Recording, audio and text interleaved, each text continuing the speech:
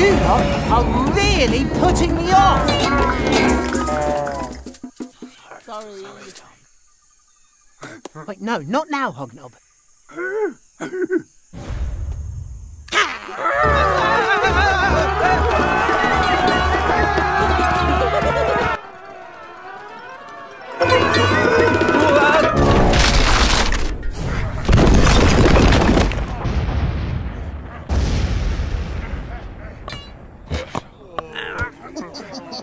Ah.